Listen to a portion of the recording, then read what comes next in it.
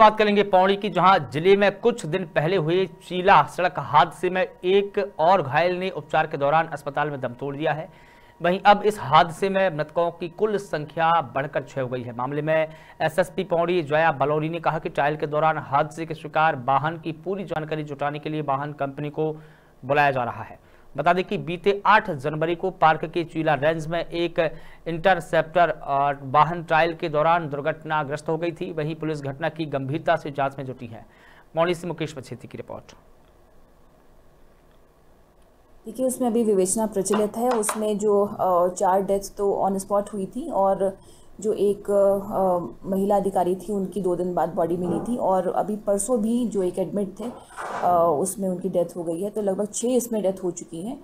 और अभी इसमें विवेचना प्रचलित है जहाँ तक कार की बात है जहाँ पर जो गाड़ी थी उसके रजिस्ट्रेशन के संबंध में तो जो संबंधित कंपनी है उनको हमने बुलवाया हुआ है और वो अपने कागजात लेकर आएँगी इसके बाद विवेचना आगे बढ़ेगी।